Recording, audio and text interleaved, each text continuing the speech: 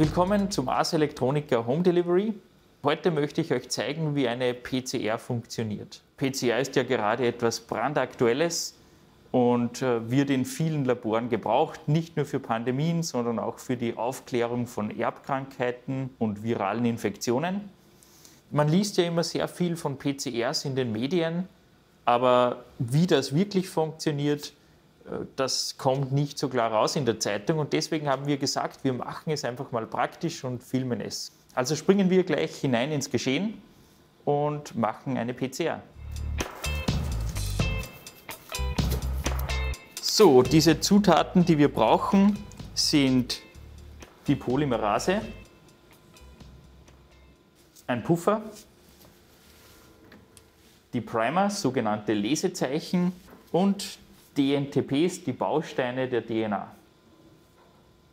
Polymerase ist ein Enzym, das wir aus Bakterien geklaut haben und damit können wir DNA vermehren. Und wenn sich die DNA vermehrt, können wir damit Signale bekommen, um zu sehen, dass die originale DNA drinnen war.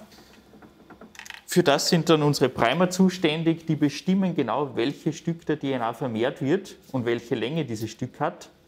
So, zuerst laut Anleitung nehmen wir einen Mikroliter heraus. Das heißt, wir brauchen einen Mikroliter jeden von jedem Primer. Da tut man sich schon relativ schwer, als nicht geübtes Auge das zu sehen, also eine sehr, sehr kleine Menge.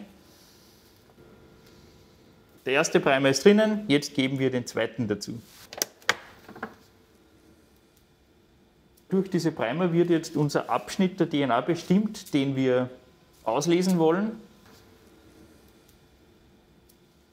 Dazu fehlt jetzt aber natürlich das Template, also die Vorlage-DNA.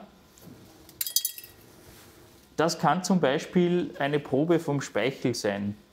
Kennen Sie vielleicht aus Krimifilmen, wenn man mit so einem Baumwollwattestäbchen einen Abstrich macht und den dann in Flüssigkeit gibt, dann befindet sich die DNA drinnen. Das haben wir hier. Das ist einfach eine Probe mit ein bisschen Speichel drinnen, verdünnt in Wasser. Und hier reicht auch wieder eine ganz kleine Menge, ungefähr, also ich nehme hier wieder einen Mikroliter heraus, also ein Tausendstel Milliliter oder ein Millionstel Liter und gebe das dazu. Dann müssen wir etwas Wasser dazugeben, einfach um dem Ganzen Platz zu geben. Im Englischen nennt man das auch das Holy Water, also PCR-Wasser, also eine sehr, sehr sehr, sehr reines Wasser, sehr, sehr destilliert und DEPC behandelt, um quasi alle Enzyme, die darin sein könnten, zu inaktivieren. Dann geben wir noch die richtigen Metallionen dazu, zum Beispiel Magnesium. Ähm, das ist sehr wichtig für die Enzyme auch in unserem Körper. Hier haben wir jetzt unseren Puffer mit den sogenannten Kofaktoren für die PCR. Was uns jetzt noch fehlt, natürlich die Polymerase, also das Enzym, das die DNA dann vermehrt.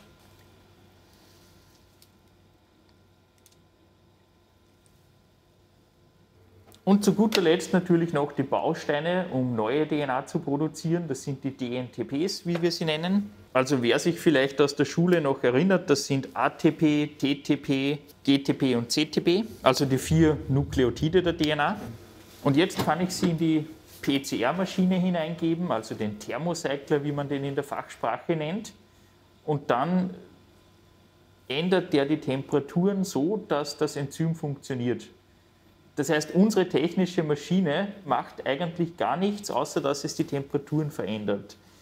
Und die ganze Arbeit, das Kopieren der DNA, macht das Enzym aus einem Bakterium, das Protein. Und jetzt dauert die PCR ungefähr 38 Minuten und dann hat das dieses kleine Stückchen vermehrt Je nachdem, wie lange die DNA ist, die man vermehren will, kann das zwischen einer halben Stunde dauern, vielleicht auch zwei Stunden, manchmal auch sechs Stunden.